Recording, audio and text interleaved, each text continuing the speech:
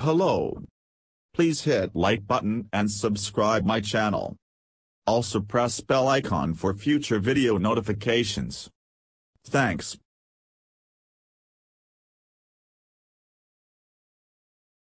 General Motors expects its EV lineup to generate more than $50 billion in annual revenue by 2025.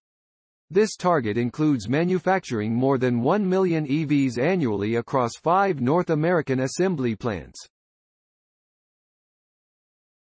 As part of that forecast, GM expects EVs to reach low to mid-single-digit profit margins. These numbers include emissions credits and revenue from software but do not include federal incentives or tax credits. We actually estimate that these tax credits are going to be worth $3, 500 to $5, 500 per vehicle coming from GM through 2025, said GM CFO Paul Jacobson at GM's Investor Day last week. Together, these credits could add 5 to 7 points of margin to the EVs, which puts us in a position where the tax credits are accelerating what we were already going to do and get our vehicles to ICE-like margins by 2025. A volume of 1M EVs would account for roughly half of GM's current North America. In 2021 the company sold two 1M cars and trucks. Only 33,000 sales were EVs, including the Chevy Bolt and Bolt EUV. This means GM expects to increase EV sales by more than 30 times its 2021 volume. We believe the EV market will be even bigger by 2025 than the 17% share of industry that a lot of third-party forecasters are predicting, Jacobson told reporters.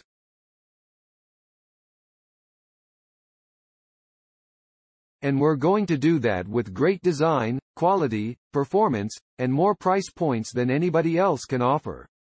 GM also expects its U.S. battery cell capacity to top 160 gigawatt-hours in the same time frame. Meanwhile, its battery cell cost should decline from about $87 per kilowatt-hour in 2025 to less than $70 per kilowatt-hour by the end of the decade, according to Jacobson. With those gains, the company estimates that its total revenue will increase 12% annually through 2025. That revenue growth will not only stem from EVs but also from software, its BrightDrop electric delivery van unit, and Cruise, the self-driving vehicle company of which GM is a majority owner.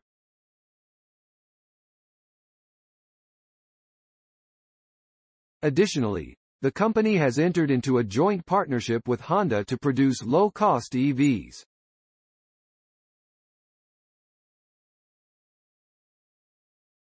Thanks for watching. Credits to www.motor1.com and Spide Build LLC. Please subscribe my channel for more auto updates.